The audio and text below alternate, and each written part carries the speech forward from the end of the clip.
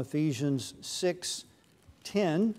And I was using this as my commencement sermon to the youth who may be graduating, moving to the next grade, moving into the workforce, wherever you are. But noted also that this is a shotgun approach because uh, Paul was obviously not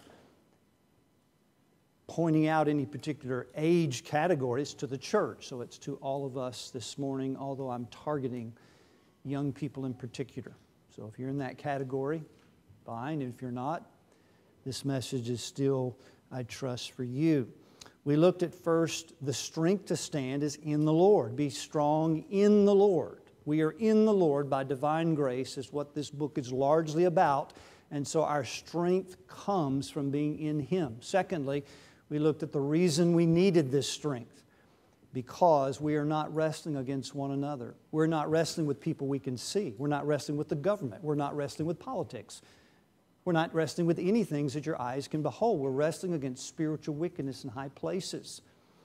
We looked at the fact that Paul lays out a well ordered classification system among demonic angels, starting with principalities who are over territories or dominions, then going to arche or powers, which are rulers over those territories or angels, it appears, and then world rulers and world lords. Paul uses the word again, cosmocrators one man coined the phrase cosmocrats, who are world lords over the realm of darkness. And then spiritual wickedness in high places, which means spiritual maliciousness.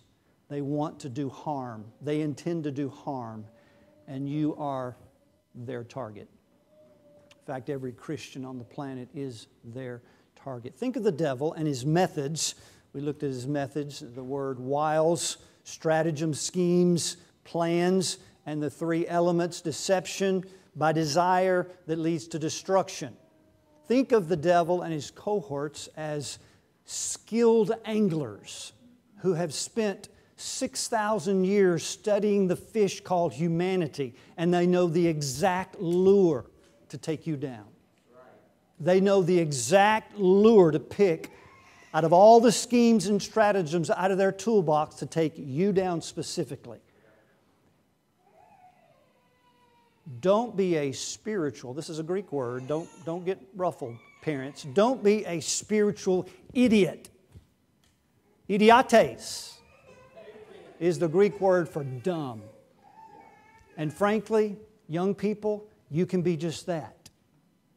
And frankly, old people, we can be just that because you think you can stand without this armor. And so the devil has you if you think that way. Really, in fact, beloved, we are in a spiritual hunger games, and it's real, and you're the hunted. You're the hunted. And that's what Paul is saying to this church and to us. And so now we look at the armor that will make it possible for us to stand because without it, you will not. You cannot.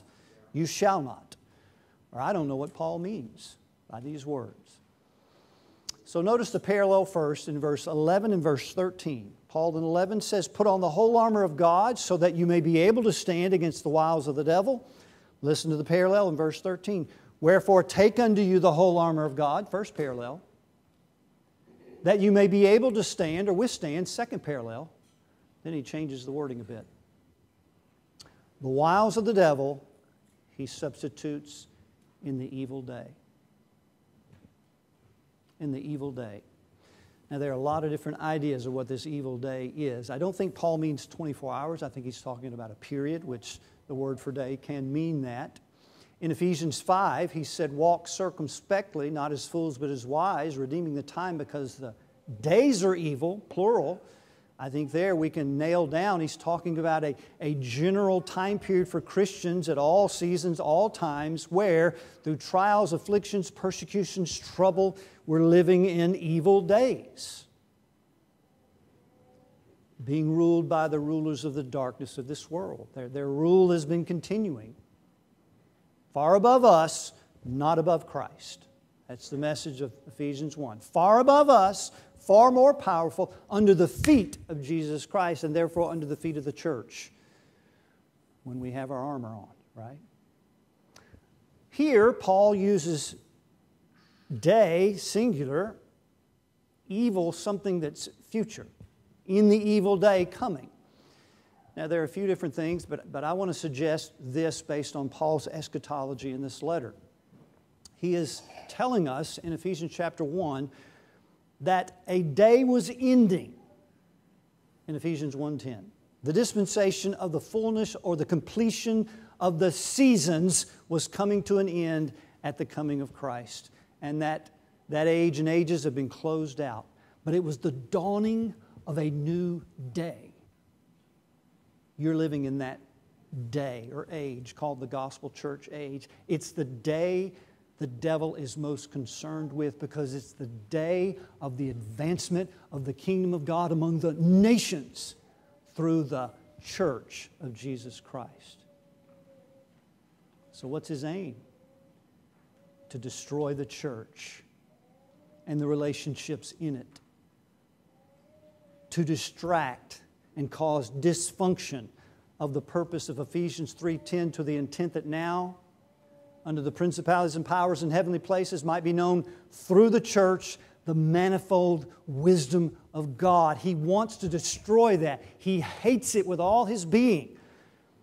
And so the gospel church age is the day he is most at work because it's the day that at the conclusion of it, his demise will be sealed. It'll be over for him. So, thinking about what Paul said in verse 13, the evil day, and we'll, we'll, we'll make allusion to that throughout. Let's look at these six pieces of the armor. Number one, in verse 14. Having done all to stand, do everything to stand. Don't cut any corners. Don't get lazy spiritually. Do everything that Paul says here, and now stand therefore, having your loins girt about with truth. So Paul makes allusion here to having a belt on, uh, girt about with truth. The Roman soldier would have some kind of belt, maybe to put a sword scabbard on or a dagger in. And so the word truth, Paul doesn't tell us with this particular piece of armor exactly what he means, but truth in his letter, and we'll just have to look at some words in the letter to try to say, stay close to the context and determine exactly what he means by truth. So, two ways he uses truth objective truth, just what is true and factual, something outside of us, Ephesians 1:13 in whom you also trusted when you heard the word of truth, the gospel of your salvation. That's objective, it's outside of us. You just received objective truth, facts about God in Christ and the gospel. But it's also used as subjective truth, something coming out of you. In Ephesians 5 9, Paul would say, For the uh, fruit of the Spirit is in all goodness and righteousness and truth. So you can see there, truth is something coming out of you, like the fruit hanging on a tree. Fruit is hanging on your life and, and coming out of you subjectively. Now, the fact that he coupled it with righteousness in Ephesians 5, and he's going to couple it with righteousness here, I think the latter is what Paul is after. A truth that is part of your life. Of course, that's based on objective truth, but something in your life. The word can be defined as a mode of life that is in harmony with divine truth. That is, your life, something true about you, is in harmony with the objective truth of God's Word. We could call it integrity. To be Christians of integrity. Now, think of integrity uh, by using the word integrated. If you were integrated, the various parts of something would be coordinated. Now, in your life, there's only two parts it's what's happening outside of you and what's happening inside of you. When those two are coordinated, you're a person of integrity. The devil wants to uncoordinate you. There are three elements of integrity. One would be authenticity. You hear that word kicked around a lot in our culture. Authenticity means you are what you claim to be. And as a Christian, you're claiming to be something. Most of the people in this room, I think, claim to be Christian. So outside, with the lips, you say, I'm a Christian. See, when you are what you claim to be, a person of integrity, inside is coming in alignment with what you say on the outside, which means you're living a life of a God awareness and a God consciousness, in your mind and in your heart. Yes, there are things going in in our heart that we have to fight against, but it's coordinated. They're, they're lining up, is to be a person with their loins girt about with truth. Next, it's to be honest, a person of honesty. Honesty is a virtue where there's an inner commitment to being truthful. Honesty alone doesn't make you a person of integrity. Liars can be honest if it means personal gain or staying out of trouble.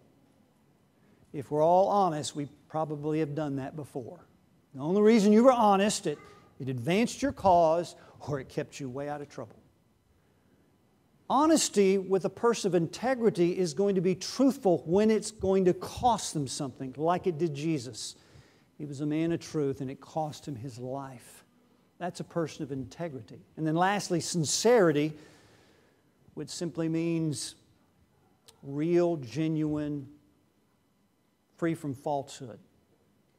Now, this, this last element of being a person of integrity doesn't mean you're perfect and you don't have any sin, but if you're free from falsehood, that means what? You confess it. You confess sin. As the proverb says, I think it's 23:13 or 28:13, he that concealeth his sin shall not prosper, but whosoever confesseth and forsaketh shall have mercy. What are the two most probable ways you and I conceal sin? One is that we rename it. You don't have to confess something if you don't believe it's sin, right? What's wrong with that? I wasn't angry, I was just being directive. I wasn't gossiping, I was just trying to help out. Right?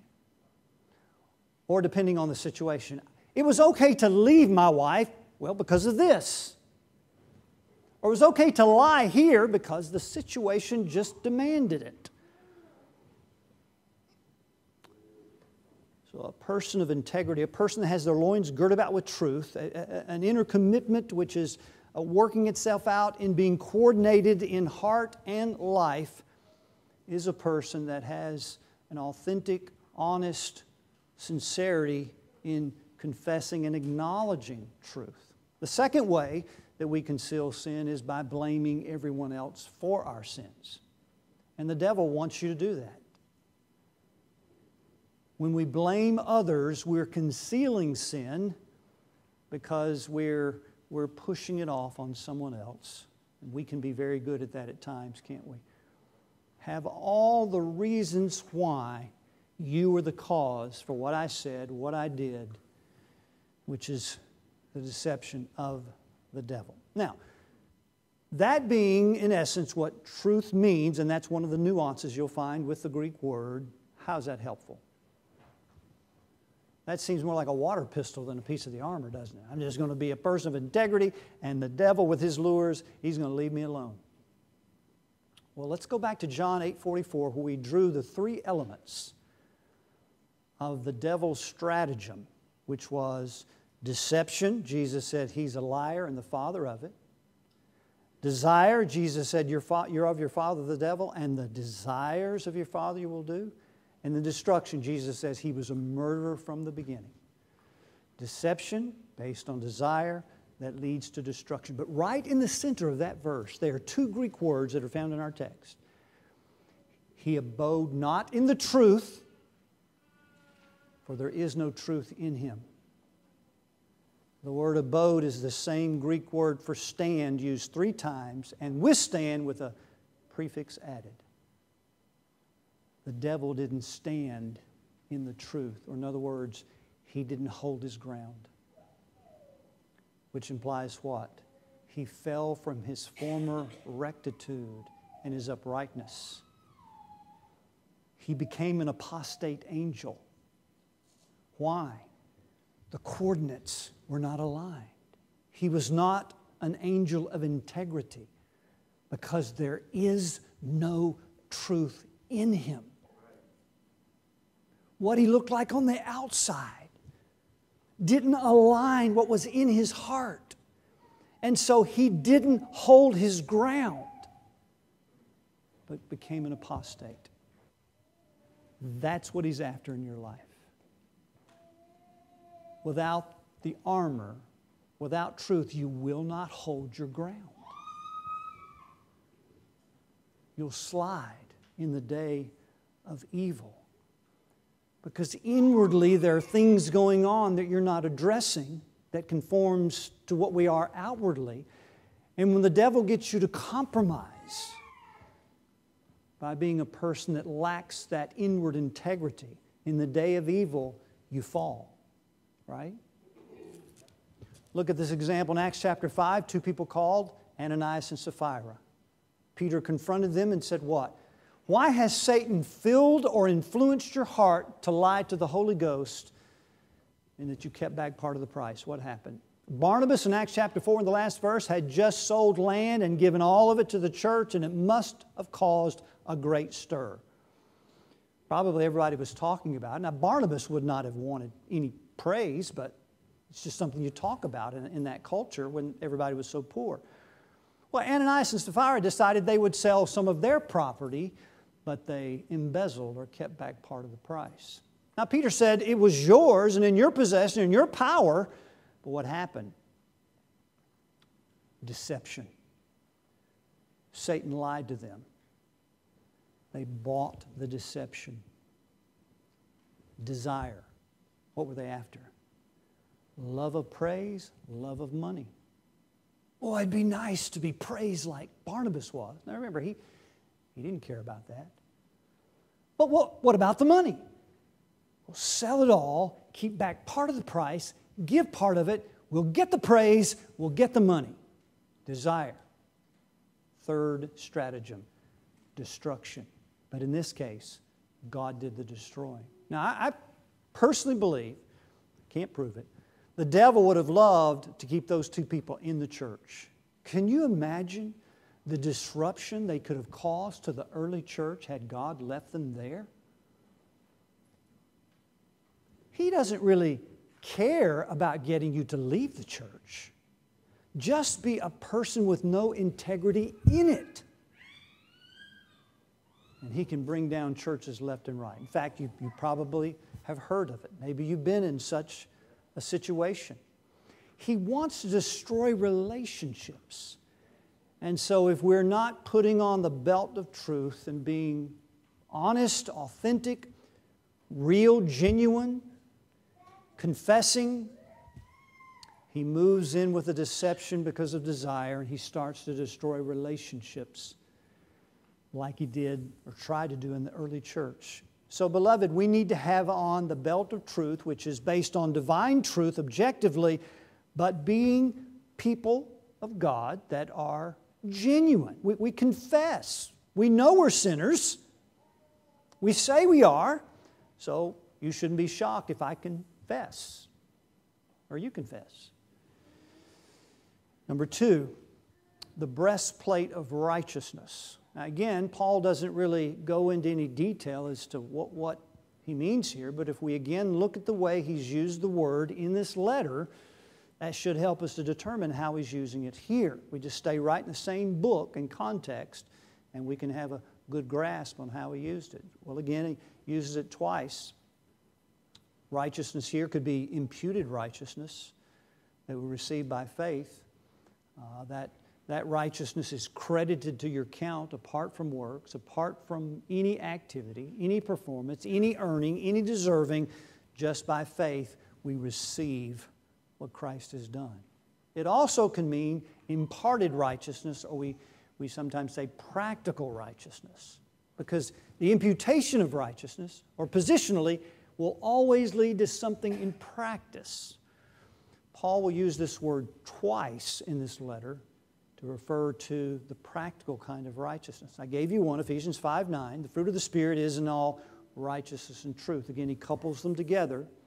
Righteousness growing on the tree like fruit, fruit of the Spirit, which is part of your life in practice.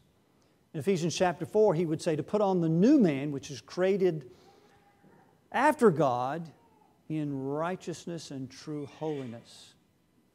The word true is the same word for truth that we gird about, and righteousness there is not imputed, it's practical.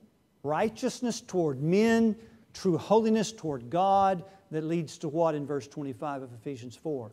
Wherefore, put away lying, tell the truth, put away corrupt communication, speak that which is good.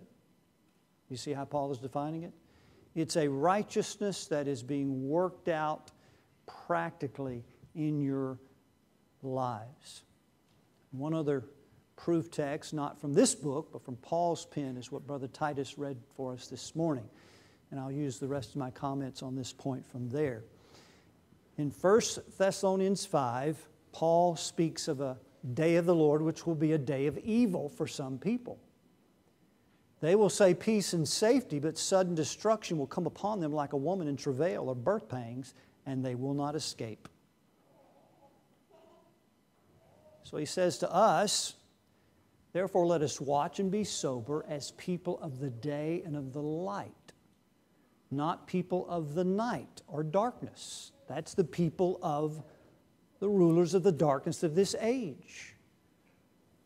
And what is the metaphors he uses for darkness because they that sleep, sleep in the night, and they that get drunk are drunken in the night. What's the common thing between those two metaphors that he's using? An altered state of consciousness, living in a dream world. A drunken person's mental faculties are not functioning. And so these people are living outside the reality of God in Christ and the gospel. Okay, so Paul is saying there's a, a day of the Lord coming. It's going to be a day of evil for some in that chapter. Then he says, Let us watch and be sober. Let us be sober, putting on the breastplate of faith and love. Why? For God has not appointed you to wrath, but to obtain salvation by our Lord Jesus Christ.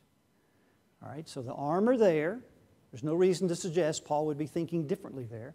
Putting on the breastplate of faith and love. Same breastplate, protects the vital organs of the heart and the visceral, and he calls it faith and love. Faith and love. See, the practical righteousness that Paul is aiming at is love. It's love. Now, again, how does that help? you know. I mean, these powerful beings, and he, he tempts you and you say, You can't touch me, I'm loving my neighbor. I am, I am mowing this guy's lawn, I'm helping him out, so be gone, devil. It's not what Paul's aiming at, is it? See, when the New Testament writers are going to sum the entire law, they will often do it with loving your neighbor. You ever notice that? We've talked about that. The whole law is summed up in the second great command. And the reason is, is that you cannot do the second one without the first one, which is love for God. Love for God. The power of loving your neighbor is loving God. So, what Paul is saying with the breastplate in 1 Thessalonians 5 is don't be pulled away from the pathway of faith and love by people saying peace and safety. And peace there, be sure, means more than just safety from harm, it means felicity or happiness. All this peace, all this joy, all this happiness. Join us. Paul says, Be sober, watch, keep the breastplate on of faith and love, because you have not been appointed to wrath like they have. You've been appointed to obtain salvation. So, as a believer, you've obtained it, but you have not yet obtained it until you reach the finish line of faith. So, the breastplate is protecting our hearts by loving others because that's proof that we're loving God. If Paul would say the breastplate is just put on love for God, just love God, and you ask me if I love God, what am I going to say? Are you kidding? I don't love God. No, that's not what I'm going to say. What are you going to say if someone says to you, Do you love God? You're going to say, Sure, I do. That's not the question Paul wants you to ask because you may not have on the breastplate if that's the only question you ask. He wants you to say, Do you love other people? That's the question you've got to ask if you want to know you got your armor on. I'd say yes to that all day long. But now, when you start pushing in on me a little bit and say, What about your church neighbor? Are you loving other people? Now that forces me to take a hard look and say, Do I have the armor on? Paul David Tripp defines love as a willing self sacrifice a willing self sacrifice for the good of another that does not demand reciprocation or that the person being loved be deserving. You just get that from the love of God, don't you? Love does not demand any reciprocation. God doesn't demand anything from you. In fact, He demands that you never try to pay Him back. That would offend His holiness. You don't deserve His love. He sacrificed His Son. God is a God of love. Now, imitate him and love that way. If you're loving that way at all, your breastplate is on. If you're not, you're exposed to the devil's stratagem because he wants to deceive you into thinking you're okay with God if you never love anybody. He deceives millions that way. He's okay if you go to church. In fact, he prefers it. That's where he's trying to infiltrate. He wants to deceive you with desire to destroy you by thinking just church attendance is enough. That, that's all. I just go hear a sermon. Sometimes we can't even do that, right? He's seeking to destroy. You see, without this breastplate of love to others, there's a void in your heart, an empty space, unless faith is loving God. And if faith, by which righteousness is imputed, is loving God, what's the upshot in the Bible? It always produces love to others. And so all Paul is doing is going to the, the armor of practical righteousness because when we ask that question, we're going to get a genuinely right answer about what's going on in the heart. If we start with the heart and the love of God, we could all be deceiving ourselves. In fact, there's probably been times all of us kind of got there, wasn't it? So, beloved, let us put on the breastplate of faith and love because God has appointed us to salvation. And the pathway to salvation is not loving so that we can earn it, it's loving because we have it. And the devils of hell cannot take it from you. Which the log- logical argument then is so put it on, right? Put it on. Number three, and your feet shod with the preparation of the gospel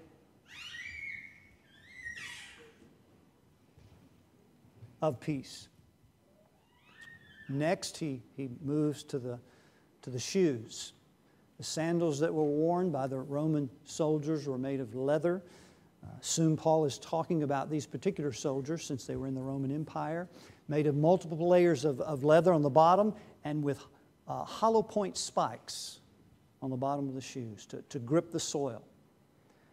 But the thing we need to know here is that the, the gospel of peace is not for proclaiming here, it's not advancing because he says, hold your ground. Now, elsewhere, the gospel is for proclaiming, but not here.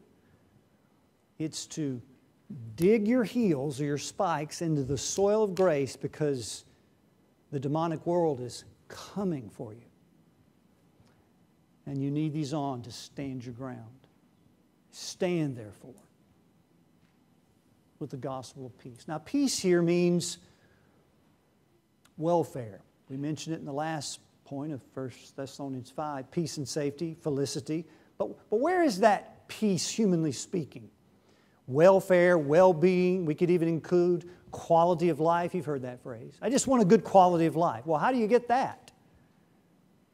That's all bound up in the word peace. Well, if you ask me, what do I need for a good quality of life? Just speaking on human terms, I'm going to say, well, I need probably a good education.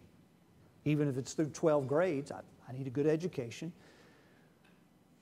I need a good job. I need a good income. I need good retirement. I need a good bank account. I need a good insurance.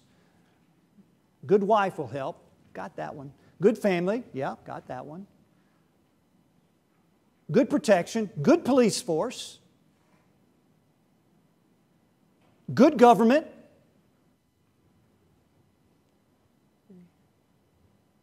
Now, here's the point the gospel of peace is going to help you stand because in the evil day, those things will be taken away from you. And that's what the devil does, isn't it? You lose those things. When you have your feet ready, prepared with the gospel of peace, then this peace is first objective in God. It, it cannot go away. It's settled. We have peace with God. But it's subjective in our inner person when we're resting in the gospel of peace so that when the evil day comes and things get ripped out of your hands, hollow point spikes of the gospel are embedded in the soil of grace. That's something you do now before the day of evil comes or the day of trial. And it appears to be coming in our country. I don't know how far it will go, but we're, we're in sort of that day, aren't we? And so, will you stand? Jesus said in John uh, 14 27, you remember, Peace I leave with you, my peace give I unto you, not as the world giveth, give I unto you. Let not your heart be troubled, neither let it be afraid. The kind of peace the world gives is the kind I just mentioned, where your happiness is based on your circumstances. And it leaves your heart what? Distressed, troubled, and filled with anxiety. When Jesus says, Don't let your heart be troubled, don't let your heart be filled with anxiety, I'm giving you my peace, it means what? This is the peace you can have when all your circumstances change drastically. Drastically.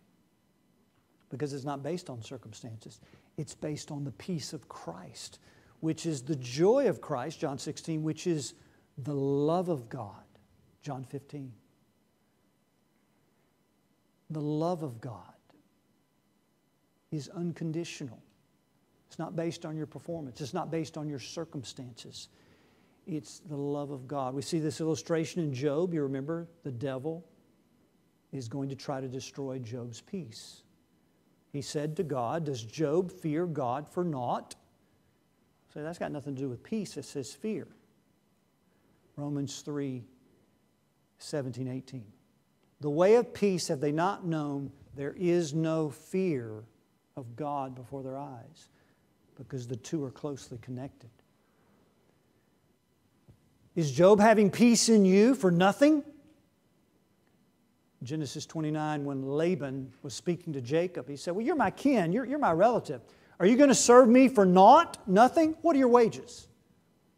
Here's what Job is saying Lord, we all know you pay pretty good wages. I mean, look at his circumstances.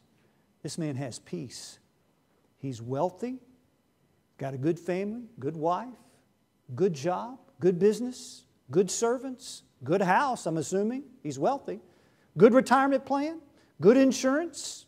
They didn't have insurance. Well, if he's got enough money, just pay for it if he has a health problem.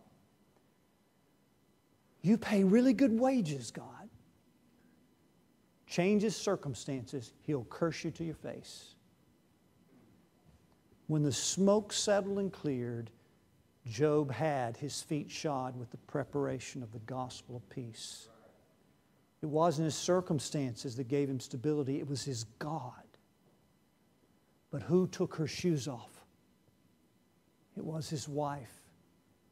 Now, listen, there is no indication here that there's a gender problem here. So you, you proud men don't go there, right?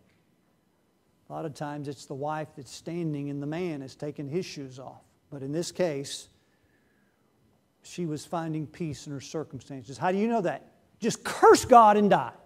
That's what she told Job. The devil wants you to curse God and die. That's what he wants. He wants to so shake your world. And apparently, he has the power to do it, according to Job 1. And that power is not independent of God's power, but as a secondary cause, he brought that mayhem in Job's life at the permission of God. And the devil does things like that today. Not our job to pinpoint where he is and, and, and, if he's in that or not. We just know he's ruling the darkness and it's spiritual wickedness in high places, and he wants to do us harm. And so, to have on the gospel of peace means to be now before the day comes, to be resting in the gospel of peace, having our feet shod, ready with the love of God, and these are connected. Truth, we saw, breastplate of love practically is rooted in love for God, and then the gospel of peace is that God loves you. And the devil will try to lie to you in that day of trouble. How? You know God doesn't love you. Is this the way a father treats his children? What father brings up Job as a very suggestion to do what he did to it. And the lies go on and on. You have no value. You have no worth to God, is what he wants you to believe. I, we could believe that pretty quick, right? You ever struggle with that, young person? Nobody would want me. Nobody cares about me. God doesn't even care about me. I'm a sinner. I have no worth. God has placed an infinitely valuable price tag on you by putting you in Christ. Your value is not in yourself, but it's in the person who permanently resides in you. You have value to God. He set His love upon you. That's going to keep your, your sandals rooted in the soil of grace when the devil starts lying to you. In all the ways that we sometimes believe those lies. Young people, now, before the disappointment comes, and they will, won't they, older people? Before you realize very shortly that your life is not going to work out the way you planned it. I hope you know that. Plan it. But it's, it's not. To some degree, it's not. Before the hardship, the disappointments, and even worse, day of evil comes, put on the gospel of peace in the peace of Christ, abiding in the love of God, which is not based on your performance or any circumstances. It's based on the unconditional love of God that the devils cannot destroy. Principalities and powers cannot separate you from the love of God, Romans 8 38. And that needs to be the bedrock in that day. Because you're going to have sin, aren't you? You're going to have to deal with sin. You're going to have to confess. And so we, we rest in God's peace and God's love. Next, above all, taking the shield of faith, wherewith we shall be able to quench all the fiery darts of the wicked. So now we turn to faith as a metaphor of a shield. Now, it seems as if Paul is uh, sort of making this the, the all important one. Three reasons you can see there. One is above all, suggests that he's placing emphasis here. It's the only piece of the armor that he explicitly states the reason for it, wherewith you can extinguish the fiery darts of the wicked. And the Roman shield covered the space of neck to kneecap. It was, was big, curvature on the end slightly, sort of turn it to defend against the sides. How does it extinguish fiery darts? Fiery darts, inflamed missiles, or arrows can be shot as a distraction to, you know, to burn things, or it can be shot straight at the people to set them on fire. So, the illustration I want to use is that it extinguishes the fire the same way a fire extinguisher extinguishes fire. Now, I know Paul didn't know anything about a fire extinguisher unless the Holy Spirit told him about it, which we don't know that. But I'm just drawing this as an illustration. A fire extinguisher works by removing one of three elements in a fire fuel, oxygen, heat. The sword of faith extinguishes the three stratagems of the devil deception, desire, which leads to destruction.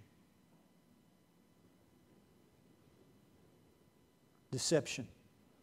We noted the word for wiles is only used in Ephesians 4:13 in this same letter, where Paul says that you and I be no more children tossed to and fro by every wind of doctrine, by the sleight of men, by the cunning craftiness whereby they strategize, same word for wiles, to deceive.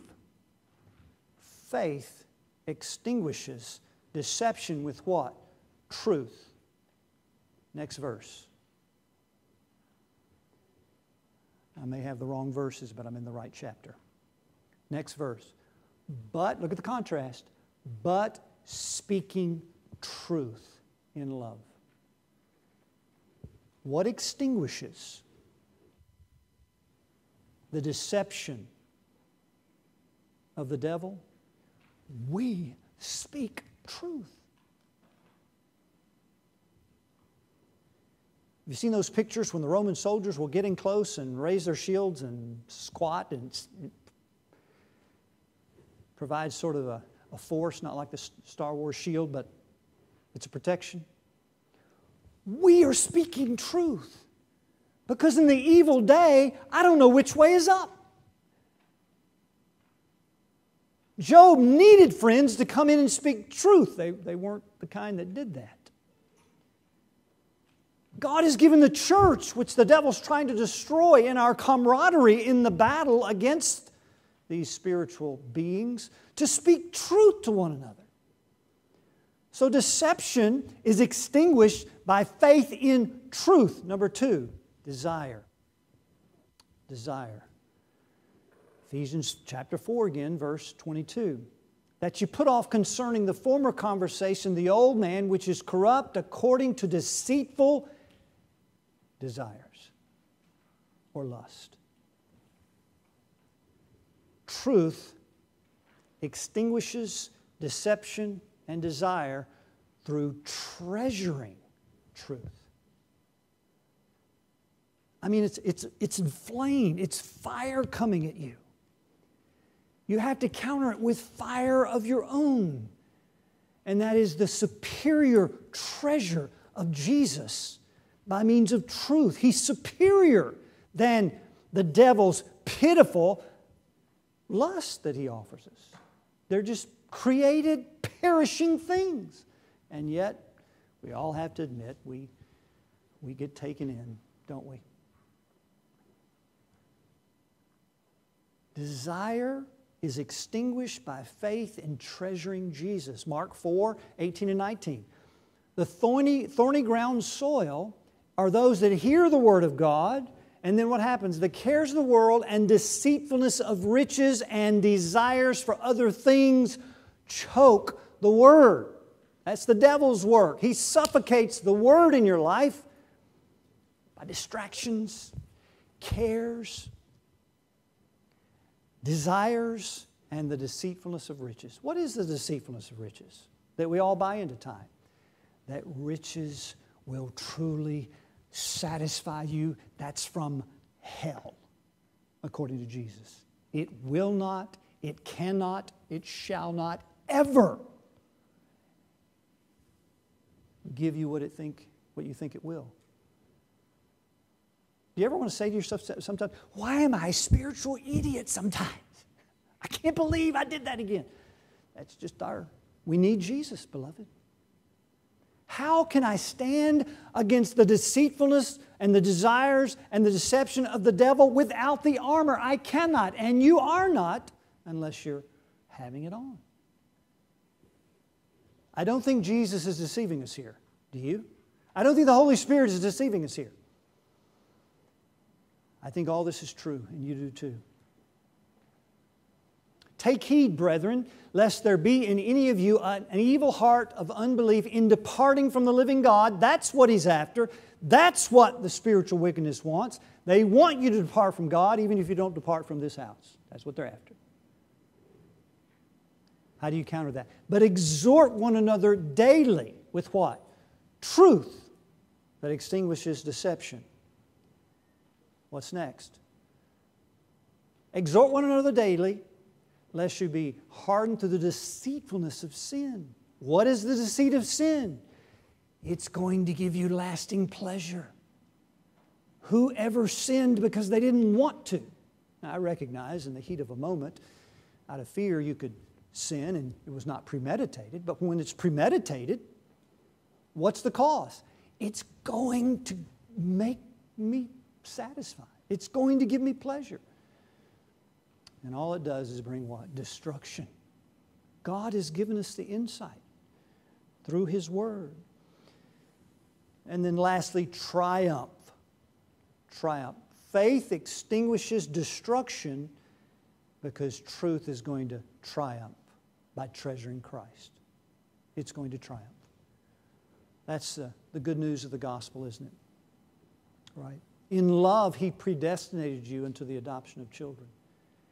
In love, He brought you into His family. In love, He opened your eyes to see Christ. In love, He's holding you. In love, God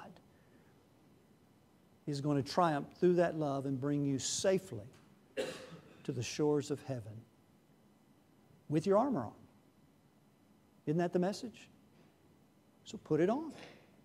It's been, you, you've been outfitted for it, it's yours having participles, having, taking, receiving the whole armor of God. Faith in this letter to the church at Ephesus is a means of conversion to Christ. It's a means of sanctification to good works by being in Christ. It's a means of access to God, Ephesians 3. And it's a means of Christ dwelling in your hearts by faith that you're rooted and grounded in what? Love. We triumph by the love of God in Christ. So faith extinguishes the three elements deception, desire, and destruction. By what? Truth, treasuring Jesus, and triumphing by faith in the gospel. Next, what if I don't treasure him right now? You ever been there? What if I'm cold in heart? Well, the next piece of armor comes in to save the day. Take the helmet of salvation. Now remember, Paul in Thessalonians 5 said, Hope as a helmet for salvation. The devil in the evil day is going to try to hammer your head, so to speak. He wants you to think wrong, he wants you to feel wrong. And of course, we know when we feel cold, that's not the way we should be. Cold at the gospel, cold at the Word of God. Has it not ever happened to you? Faith comes in, or hope rather and tells faith, keep your shield up. Deliverance is coming one day. Hope is going to keep faith moving ahead toward the final victory. Like the athletes tell everybody there's only two minutes left in the game, or they hold up their fingers at the fourth quarter. I don't need anybody to tell me what quarter it is, man. I can look at the clock and see. That's not what they're doing. I mean, everybody can see how much time is left on the clock. What's the point? In two minutes, it's going to be over. After this quarter, it's all over. You can rest then. You can lay your armor down then. It'll be over. The bad thing is they might not win the game, but you will. You will, you will be triumphant. So hope sustains us by looking for the joy set before us, even in the moment when we feel miserable and we have, I don't have any joy right now. Hope sustains us by telling faith, keep looking at the clock. Deliverance is coming both temporally, but it's coming eternally. And we will triumph at last by faith. And we will be ushered into the final kingdom of God where there will be joy and pleasure as God promised. We have to believe Him. So I don't feel like it's that way. Yes, that's right. It doesn't really look that way. Yes, again. I believe it because He said it's that way. He said it's that way. So gird up the loins of your mind, Peter said, and hope to the end for the revelation of grace that is to be brought to you. And what will that do? It'll keep you on the pathway of holiness.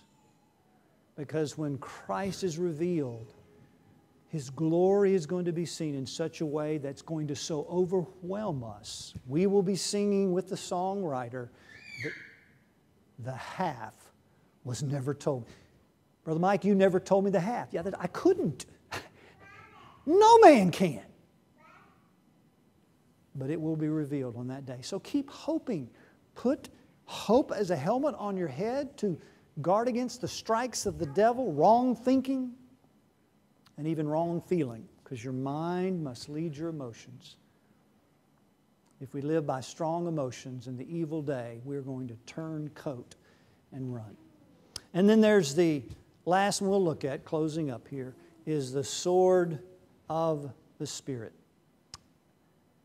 Sword of the Spirit, which is the Word of God. I don't take the Spirit to be the sword, or you'd be controlling the Spirit. It's, it's the Word that comes from the Spirit, it's the sword that comes from the Spirit, and that is the objective truth of God's Word. Sword is a powerful tool. It is the offensive weapon we see here, can be defensive. It's, it's effective, it's effectual, it's powerful, it penetrates. Hebrews 4 will tell us uh, it penetrates to the dividing of sunder of the soul and spirit, and it's a discerner of the thoughts and intents of your heart. So, first, the sword of Spirit exposes us and lays us open to the truth.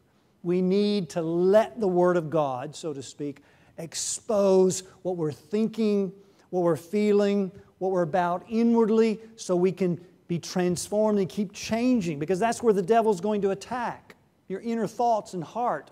So it, it, it's sharp to penetrate what we're thinking. Is my thinking right? Is, is what I'm feeling right? I think so. No. We keep going to God's Word and it penetrates. We, we preach God's Word. We want to preach unadulterated truth from the sword of the Spirit. Today, in some churches, an adulterated gospel is being preached to appeal to the masses the very gospel that's foolishness unto those that are perishing and a stumbling block to the Jews, we cater to that foolishness because we don't want them to think it's foolish. So what do you do when you, won't, you don't want somebody to think your clothing is foolish? Well, you change your clothes and you, you get in with the times. Paul said, it's foolishness to the perishing, but it's power to the saved. So let the Word of God have its power. Don't adulterate it. Now, how would you then put on the sword of the Spirit? You got to read it first. Read it. Some of the things we've been learning in Psalm 119. Open thou mine eyes that I may behold wondrous things out of your law. Well, if you don't read the law, you your eyes are not going to be open. Wait a minute, God can open my eyes anytime. But what did He say? I can see things out of the Word, the revelation of God. So if you don't read it, guess what? Your eyes are not going to be open. Read the Word, just read it. That's not complicated. The Word can be complicated, but just read it. Secondly, memorize it. Psalm 119. Thy word have I hidden in my heart that I might not sin against thee. See, it was hidden there from the book to the heart, which means he memorized it. Now, you young people, that's easy stuff for you. I'm 60. I can still do a little of that, but not like you can. Your minds are sharp. What are you using your minds for? Just memorize it. You probably could just read it a few times and it's stuck there. You know? Parents, teach them.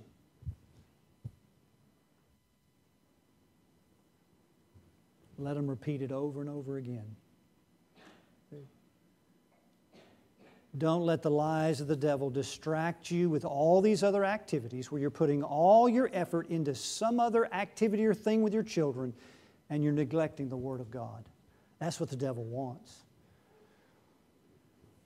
Right? So you help them memorize it when they're young, meditate on it. But his delight is in the law of the Lord, and in his law doth he meditate day and night. Now, that's just a fancy word that means think about it. What does this mean? What is God telling me? Not what does this mean to me? Frankly, I don't care what it means to you, and you don't care what it means to me. What does it mean as God wrote it? Now, what does He want me to do with it? How much of do we lose an application because we don't ask the question, what was God telling me today? And that conviction I felt when that was said, I think God's saying, change it. Right? Don't be that James 1 man that goes out, never gives any thought, comes back, feels good about himself. Let the Word of God penetrate and go deep. Study it, study to show thyself approved unto God, a workman that needed not to be ashamed, rightly dividing word of truth. When you meditate on it, you're basically studying it. It just means making sure we get the right interpretation you know, why did Paul say it that way? What are the parallels and all the ways we would study? Don't be intimidated by that word. You, you young people do that all the time. I know you don't really like it sometimes, but this will benefit your soul in the way that academic study cannot, of course, unless it's connected with the Lord, right? Education is good in the Lord. And then lastly, pray it. Praying always with all prayer and supplication in the Spirit. In the Spirit. Jude says to pray in the Spirit, and he connects it with the Word of God. Here it's connected with the Word of God. So we're praying the Word of God. We're taking the Word of God and we're asking God to do what He said He would do. And we know we have the petitions we ask of Him because we know it's according to His Word. So just expect it to happen. Sometimes we ask for things and we're not sure. and that's fine. I don't know if He's going to heal you, but i will sure pray for that. But we're praying the Word of God. This is what Jesus did in Matthew 4 when He quoted to the devil who was trying to deceive Him according to desire, destroy Christ. Right? He quoted Scripture because he had read it and memorized Scripture and he didn't have a book with him. He had studied Scripture because he knew the application of the text as to what the devil was presenting. So out of his mind, he he took a text and said, This is the one that's going to work. And he applied it in his own life, and the devil left him. Jesus, as a man, did that. Yes, I know he's perfect. But Paul is saying our strength in the Lord is to be able to grow into that kind of person, to be like Christ, not perfectly, but we're drawing our strength from him. Let us be a church that continues to get our strength from the Lord, having our loins girt, having the breastplate on, having our feet shod, taking the shield of faith, putting on a helmet for hope, and taking the sword of the Spirit, which is the Word of God, and praying that God would make this all reality. Let's pray. Father, we thank you for your word that you give us. Uh, thank you for being faithful to us, Lord. Again, I would be remiss if I didn't confess on my own behalf and behalf of the congregation that we have not at all times found ourselves with the armor. How effective is the devil to distract us with the cares of this life, just cares, and the desires of other things that enter in, and the deceitfulness of possessions and riches and things that we can acquire out of creation and even some things that we need to sustain life. And yet, Lord, your word is beckoning us and calling us to find this strength in the Lord where we will be able to stand. And have done all to stand, Lord, bless us that we stand together as a congregation after these 19 years of your faithfulness. May this continue, Lord. May you bless this church to continue to be a word centered church May we preach the word, disciple the word, pray the word, love the word, read the word. And Lord, where you've called each person, all of us here today, to repent and change, May we not leave here without a commitment to do so, a resolve, Lord, for we know it'll be for your glory and it'll be for our spiritual good. So do this work in us. We pray it in Jesus' name. Amen.